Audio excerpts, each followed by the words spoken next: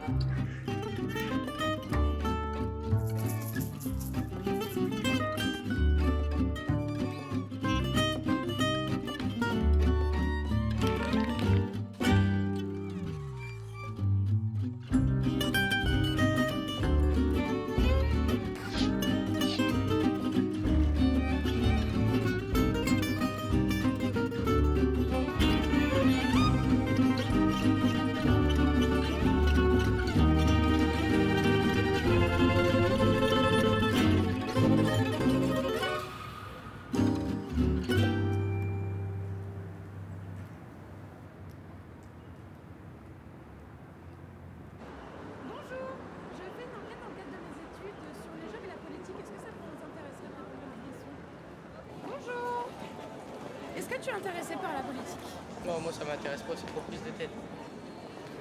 Bonjour mademoiselle Est-ce que vous êtes intéressé par la politique Non, pas du Euh, moi, la vie politique, euh, non. tout. Ça vous ouais. intéresse pas Bah, on est jeunes, donc non.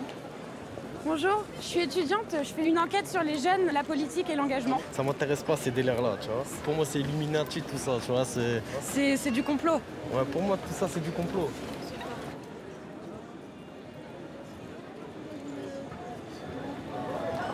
Bonjour Est-ce que vous êtes intéressé pour répondre à quelques questions dans le cadre de mes études sur les jeunes, l'engagement et la politique Oula, non, pas la Il politique. n'y a pas de mauvaise réponse. hein. Justement, ça m'intéresse. Ouais, mais du coup, bon, c'est ça le truc. Bon, bonne journée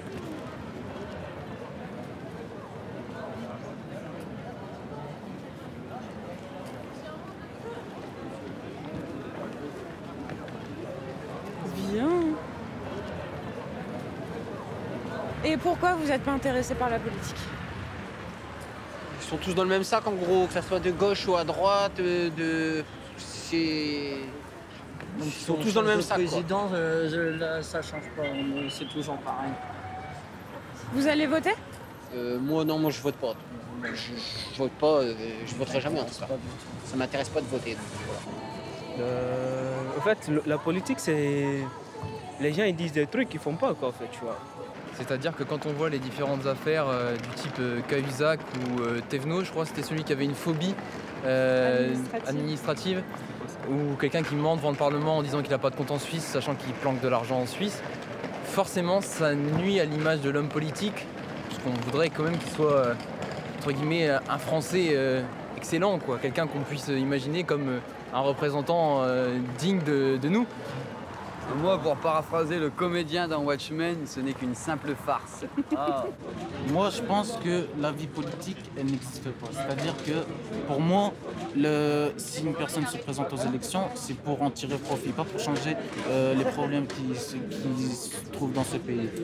Après, voilà, euh, pourquoi je voterai Marine Le Pen? Parce que j'aime bien, justement, les gens qui parlent dans le vent. Et j'aimerais bien savoir, j'aimerais bien voir ce qu'elle va faire. Parce qu'elle, elle dit plein de trucs, plein de trucs, elle va changer ça. Ouais, exactement. Elle dit des J'aimerais bien voir ce qu'elle va euh, faire. Les autres candidats, ils disent pas. On, on veut voir si elle va vraiment changer ça, si elle va appliquer les règles. Et ça va, pas. ça va surtout, euh, excusez-moi mon expression, ça va surtout foutre la merde.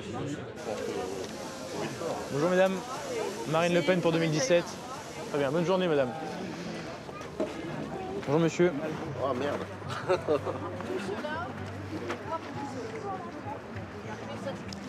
Bonjour monsieur, Marine Le Pen pour le Front National.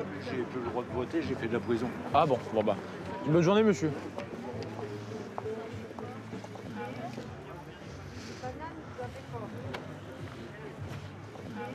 Bonjour Bonjour. Quelle image as-tu des politiciens et de la politique actuellement? Alors, pour moi, tous ceux qui sont, qui sont succédés, pour moi, sont tous des pourris. Euh, ils n'ont fait que ruiner le pays et euh, je pense qu'il faut vraiment une véritable alternance euh, au système. Il faut changer, il faut se moderniser et c'est nous, nous au Front National, avec un mouvement jeune, qu'on pourra créer cette alternative. Pour rebondir, un mouvement jeune, tu penses que les extrêmes sont la solution? Si je peux pas exprimer mes opinions, même si elles sont différentes des autres, bah, je suis plus en démocratie. Et le problème, c'est que bah, souvent à l'école, euh, j'ai eu le problème avec mes enseignants qui voulaient euh, toujours euh, briser Marine Le Pen pendant les cours, etc. Mais forcément, quand on se retrouve face à un frontiste qui se laisse pas faire, qui n'accepte pas qu'en cours on parle de politique, et bah, on se un petit peu à moi. Je prends l'exemple des régionales où j'ai une prof qui nous a clairement dit, entre les deux tours, 40% des Picards ont voté comme des cons. Voilà, en plein amphithéâtre devant 500 personnes, je me suis levé, j'ai dit bah écoutez, les cons ils, sont... les cons ils se barrent. Et puis été applaudi par la moitié des gens qui étaient là, et puis on s'en va.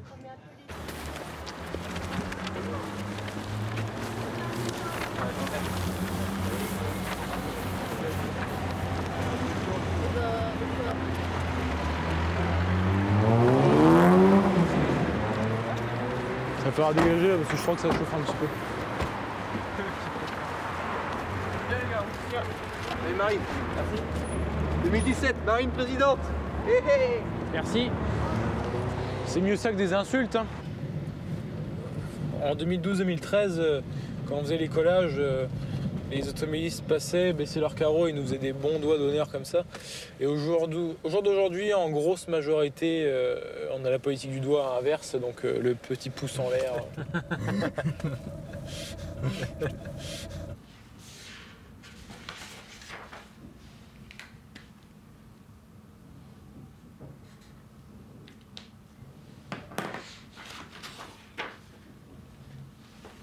Et dans toutes tes, toutes tes réponses, enfin, tu leur as demandé quel, euh, pour qui ils allaient voter?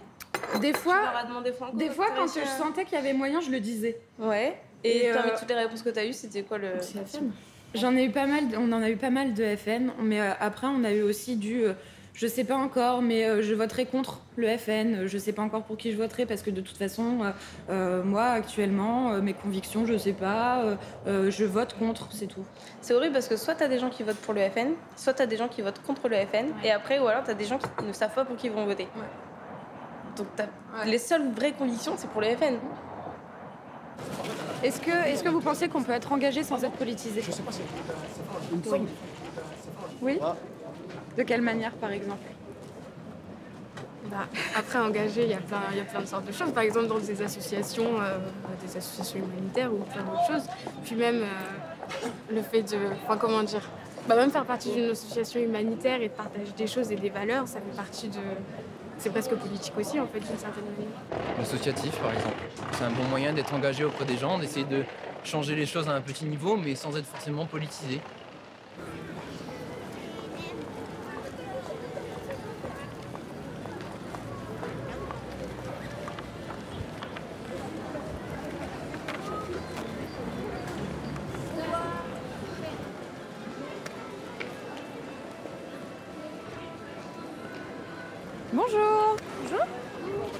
Euh, donc tu m'as dit que tu travaillais dans une association. Oui. Euh, tu es en contact avec les jeunes Oui. Sur la question de l'engagement Oui. Et comment on pourrait euh, faire en sorte justement que euh, les jeunes soient entendus Je les- pense tout simplement de les prendre en considération en fait, pas comme une partie à part qui doit apprendre des vieux. Je pense que les jeunes ont plein plein de choses à dire, qui sont super intéressantes, ils ont des manières de faire peut-être différentes parfois, mais qui sont totalement euh, légitimes. Parce que les gens, quand on va vers eux, en fait, ils ont plein de choses à dire. Et euh, il suffirait un peu d'écouter et de tendre l'oreille au lieu de toujours juger. Ça serait déjà un beau truc. Le FN, vous en parlez Bien sûr. Avec les jeunes Bah, le FN, on en parle ouais, carrément, ouais, parce que parce que aujourd'hui, euh, ils parlent bien, ils parlent très bien. Euh, ils essayent d'amener la population qui ne vote le moins, c'est-à-dire les jeunes, à aller vers eux. Donc bien sûr qu'on en parle aussi, c'est de montrer aussi comment décortiquer une discussion. C'est pas forcément dire pour qui il faut voter ou pour qui il faut pas voter. Rien que décortiquer un programme, c'est déjà tellement euh, subtil ou même voire compliqué en fait qu'il faudrait déjà pouvoir passer par là. Aujourd'hui, on n'a pas appris à parler de politique ou même à juste à, s'intéresser à la politique. Aujourd'hui, la politique, c'est regarder des politiciens parler à la télé. Euh, faut aimer quoi. Tu vas voter aux prochaines présidentielles? J'espère. Je, dans l'idéal, j'aimerais que le vote blanc un jour soit comptabilisé. Comptabilisé, exactement. Merci.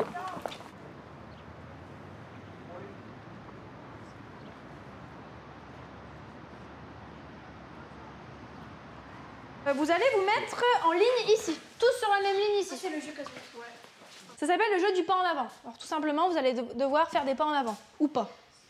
Vous pourrez jamais reculer. Ok? Vous allez piocher une étiquette. Vous allez essayer de vous mettre dans le personnage que vous avez sur votre étiquette. Ça peut être je suis une femme célibataire, ça peut être un âge en particulier, ça peut être plein de choses. Je vais vous donner des affirmations. Par exemple, la première affirmation, ça sera J'ai toujours bien réussi à l'école. Si vous pensez que si vous étiez cette étiquette-là, vous auriez bien réussi à l'école, vous avancez d'un pas. Si c'est non, vous avancez pas. Est-ce que vous avez compris? Alors, j'ai toujours bien réussi à l'école.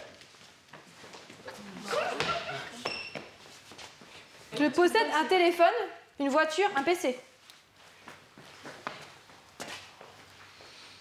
Vous n'êtes pas inquiet pour l'avenir de vos enfants. Vous n'êtes pas inquiet pour l'avenir de vos enfants. Je n'ai jamais été discriminée.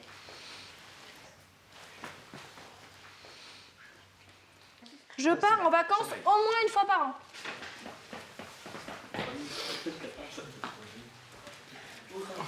Et la dernière, j'accède aux études que je souhaite. Donc là, vous, vous regardez juste où vous êtes placés. Ceux qui sont là, vous êtes devant. Ceux qui sont là, vous êtes au milieu. Et à partir d'ici, vous êtes à l'arrière. Ok Ouais. Qui veut bien commencer? Vas-y. Donc tu étais où? Moi j'étais tout devant. Ouais. Est-ce que c'était. Ça m'a fait rien. Ouais.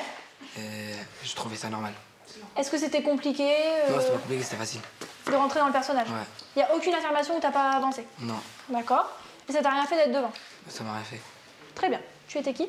J'étais une fille qui travaille à l'université euh, scientifique et qui était fille de directeur bancaire. Très bien. Est-ce que vous pensez que vous auriez été aussi devant? Ouais, plutôt devant parce que. Parce que Non, Vas-y, vas-y, c'est très intéressant. Parce que c'est les parents qui payent. Parce que c'est plutôt les parents qui payent, mais c'est exact. Non, franchement, n'hésitez pas, il n'y a pas de bonne ou mauvaise réponse. Euh, Le but, c'est que vous puissiez parler. hein. Très bien, merci. J'étais. euh, ça faisait euh, depuis un an que j'étais en prison. J'étais caissière au Leclerc à Amiens. Je me sentais impuissante, mais à la fois à l'aise. D'accord. Euh, J'étais un agriculteur qui possède 23 chèvres. J'étais une jeune fille lesbienne de 22 ans. Et pourquoi t'as pas trop avancé? Parce que tu connaissais pas la situation? Parce que tu savais pas trop? Non, c'est surtout euh, par rapport, au- par contre, on vous a écouté, excuse-moi. par rapport aux questions sur euh, l'avenir des enfants, de le, comment on sera vu, la discrimination, etc. Moi, j'étais derrière et j'étais le fils d'un immigrant chinois. Et je voyais que j'étais moins chanceux que les personnes qui étaient devant. Mhm. Donc ça fait bizarre. Ouais, très bizarre. Bah oui, parce que tout le monde avançait, puis moi je restais euh, derrière. Quoi. Ça fait quoi d'être tout devant? Ça fait du bien. Ça fait du bien? Ouais. Non, mais c'est vrai. J'étais tout devant. Euh, je me sentais un peu à ma place. Et je peux dire j'étais quoi? Oui, vas-y. J'étais. Vous êtes enseignant en France. Waouh. Ah oui, d'accord. Non, moi je, moi, je l'aurais pas vu aussi loin. Attendez, alors attendez, est-ce qu'on peut juste prendre la parole mais- chacun? Moi, Non, je- mais c'est intéressant. Donc tu disais. Moi je l'aurais. Je, je l'aurais pas vu aussi loin. Pourquoi? Attends, vas-y, bah, donnes ton avis. T'aurais été plutôt où, toi C'est. Par rapport euh, à directeur de l'agence bancaire. Donc financièrement plutôt. Voilà, financièrement. Ouais, mais sur, Attendez, sur les attendez. questions qu'elle a posées, c'est- normal pour Non, moi. mais parce qu'en fait, dans les affirmations, il y en a qu'une ou deux d'économique. Tout le reste, c'est euh, subvenir à ses besoins, tout ça. Donc c'est pour ça aussi qu'il a avancé aussi loin, je pense. Ah ouais, c'est ce, que je- c'est ce que je veux dire. Ah, mais- Il est à sa place par rapport aux questions que vous avez posées. Voilà. hein. Moi, j'étais une jeune fille de confession musulmane qui vit chez ses parents très pratiquants. Ouais. Ça t'a pas semblé trop compliqué? Si, quand ils ont dit euh, si on subissait du- de- des discriminations, Oui. C'est la discrimination. j'ai stoppé après. D'accord. Et tu penses que t'es discriminé par rapport à quoi? Moi aussi, je suis discriminé, peut-être. Toi aussi, à- t'es discriminé? À ma religion, peut-être. Est-ce que vous avez l'âge de voter, vous? Bah non. on n'a pas l'âge. Bah justement, c'est un truc ça. Ça, c'est un truc. Pourquoi on pourrait pas décider euh, les gens qui font les lois pour nous? Toi, tu penses qu'on aurait pu euh, voter avant Bah ouais. Ouais. En plus, les lois, elles sont pour nous. Bah pourquoi Genre, euh, quand on aura grandi, les lois, elles seront là. Toi, tu penses aussi qu'on aurait dû voter maintenant Enfin, vous auriez le droit, ouais Est-ce que vous avez hâte de voter Pas du tout. Moi, je vais faire comme mon oncle, je vais pas voter. Tu n'iras pas voter Non, Tu peux nous donner tes raisons ou parce que ça sert à rien. D'accord. Pourquoi tu... Non, mais c'est non, c'est intéressant. Pourquoi toi, tu penses On que ça sert s'adapte. à rien C'est tout. Comment Quand la droite elle vient, on s'adapte à la droite. Quand la gauche elle revient, J'ai l'impression que c'est tous les mêmes, quoi. Voilà. Je voterai blanc. Tu voteras blanc plutôt? S'ils votent blanc et qu'ils votent pas, ça revient au même en fait. Non, bah Bah non, parce qu'en fait, voter blanc, ça veut dire quand même que t'as voté, mais qu'il y a personne qui t'intéresse. Ne pas voter, ça veut dire que bah t'as pas voté. Et c'est-à-dire qu'on peut compter ça. Quand on a 20% qui ont coûté blanc et qu'ils sont pas d'accord. Que si on vote pas après la personne qu'on voulait pas voir, bah, elle sera élue au final. Voilà. C'est possible en tout cas, ouais. Comme euh, Donald, un exemple très simple, Donald Trump aux États-Unis. Ça sera mon problème. Ou même le Marine- le- enfin, Jean-Marie Le Pen, il a failli gagner pendant un moment. Ah, mais il a pas gagné. Voilà, si Marine Le Pen elle vient, là, Moi, je retourne au pays en tout cas. En gros, voter pour le moins con des deux, bah, c'est ce qu'on fait depuis quelques années. Franchement, moi je dis ça, mais je m'en fous de voter. Ça Après, je dis ça maintenant, mais peut-être que je vais changer d'avis. Mais ça Mais pour t'intéresse pas de, l'instant- sa- de voter pour la personne qui va te diriger C'est une erreur, c'est une grave erreur de ta vie que tu Pourquoi toi tu penses que c'est intéressant de voter Faut voter. Faut s'exprimer, faut s'exprimer. Vas-y, vas-y, finis. Pourquoi faut voter toi tu penses Parce que on sait pas, par exemple, on va être, on va être dirigé par un dictateur ou un truc comme ça. c'est Après, tu vas, important. tu, vas, tu vas le regretter, Enzo. Je te le dis, Ouais, va voter, va voter. J'ai déjà, en troisième, je me rappelle des cours d'éducation civique là sur euh, le. euh, ils nous expliquaient les partis politiques. Ils expliquent le Front de gauche, EPS, l'UMP. On présentait le Front National comme le parti que des fachos, des racistes, des anciens nazis, des machins, etc. On vous présente ça en cours? Non. C'est un parti qui défend des valeurs patriotes. Certains les considèrent extrémistes ou pas, ok. Mais pas un enseignant à dire ce parti, c'est un parti de racistes. J'ai fait ma rédaction correctement en disant Monsieur Jean-Marie Le Pen est un raciste, etc. Et en encadré à la fin, j'ai marqué Je ne crois en aucun cas à ce que j'ai marqué précédemment. Je connais votre cours, je l'ai appliqué, mais je suis en total désaccord avec vous. Et c'est le principe même de l'éducation civique, c'est de dire que je suis contre ce que vous me racontez. J'ai été collé. C'est pas normal. C'est un non-respect de mes droits. C'est pas parce que je suis un gamin, c'est pas parce que je suis un étudiant, je suis pas un, co- un collégien, un lycéen, peu importe, que j'ai pas le droit d'avoir ma propre opinion. Et c'est pour ça que ça m'a toujours renforcé vers le front. C'est à cause de mes enseignants que si je suis au front. C'est parce que ils m'ont toujours poussé à dire que ce que je pensais c'était mal. Tu fais du droit, c'est ça? Je suis en sciences politiques. Pardon, excuse-moi, complètement à côté de la plaque. Du coup, tu vas dans Sciences Po, du coup, tu vas t'engager dans la politique après Je ne suis pas certaine D'accord. d'être euh, d'être faite pour ce milieu.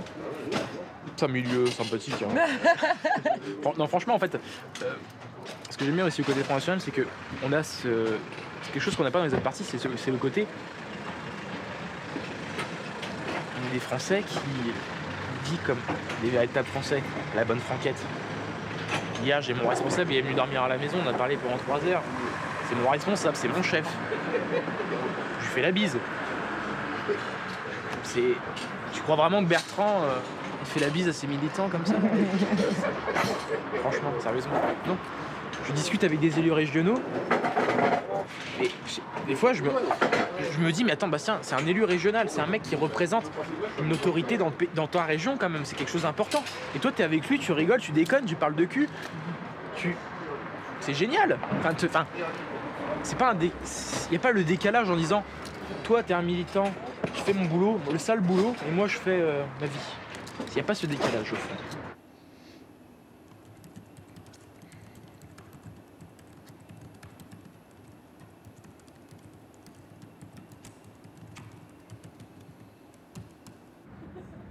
Là, pour la partage politique de la droite, de sa gauche.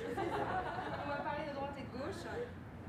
Donc, bienvenue à cet euh, petit atelier sur les programmes euh, politiques euh, jeunesse. On va lire des programmes euh, ensemble. Il faudra donner les grandes idées du programme, dire avec quoi vous êtes d'accord et avec lesquels vous n'êtes pas d'accord avec les propositions politiques. Et la dernière question, trouver quel est le parti politique. Et on reviendra ici et on devra dire, bah, moi je pense que c'est tel parti ou tel parti. On a l'impression que le programme est écrit par des vieux. Non mais c'est non mais voilà. En tout cas que les jeunes ne sont pas forcément mis au cœur du programme et ça c'est un peu dommage. Nous on se dit qu'on aurait bien aimé que ce soit un truc co-construit. On n'a pas du tout l'impression que ça part des besoins des jeunes. On a aussi l'impression quand on lit ça que vraiment les jeunes c'est une catégorie à part de la population. On n'est pas du tout mis dans avec le reste de la population donc ça ça nous a dérangé. Et euh, on par déduction, hein, euh, comme donc ils parlent que la droite c'est pas bien, donc c'est pas peut être la droite. Et comme ils appuient sur le fait que les dispositifs ont très bien marché, de service civique, tout ça. Voilà, on donc pense que c'est le PS. Par déduction, on se dit que c'est doit être ça, mais euh, voilà. On n'est pas d'accord dans le vocabulaire, qui est trop brutal et extrême. Comme responsabiliser les parents, on voudrait plutôt accompagner les parents extraire le jeune de son milieu de vie, c'est extraire, c'est un vocabulaire carcéral, donc euh, c'est beaucoup trop extrême. Du coup, euh, on pense, enfin, on est plutôt d'accord, on pense que c'est le FN.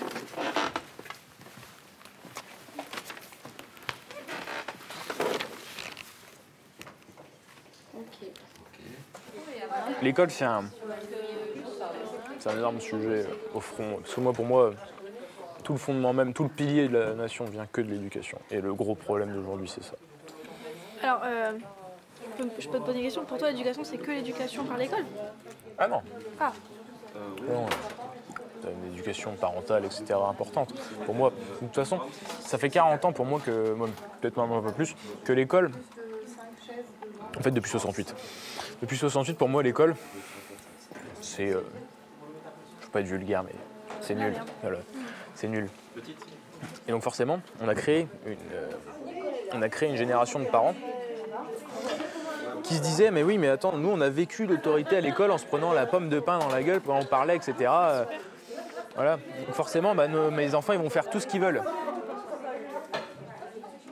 Et c'est comme ça qu'on crée une génération d'en- de- de- d'enfants qui n'est pas qui peut être turbulent, qui peut être euh, etc. Donc je pense que les parents doivent avoir leur éducation à eux quand même assez stricte tout de même. Tout de même. Après, il faut. Il faut, Oui, euh, j'écoute, je- Voilà.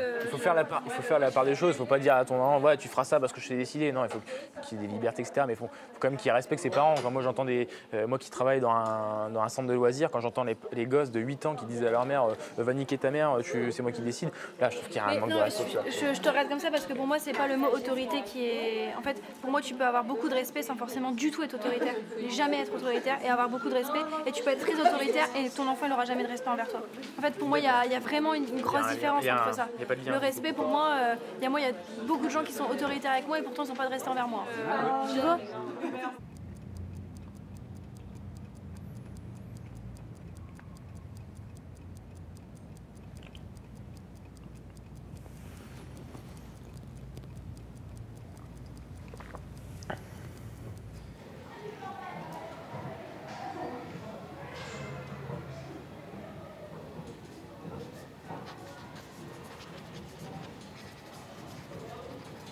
Moi, je suis en, je suis en S.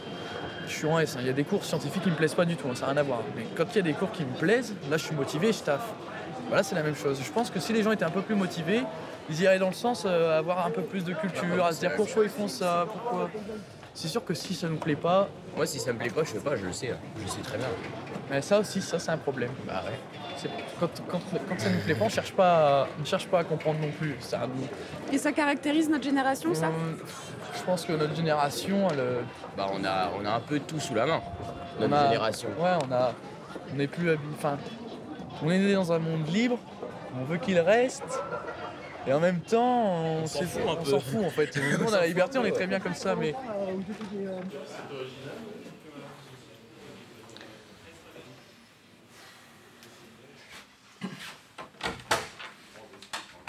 Salut. Salut. Bastien, Florian, c'est le jeune de la Somme qui est dans le bureau fédéral dont je t'ai parlé, qui travaille sur ta chaîne YouTube. Ah bah très bien. Donc l'expert YouTube.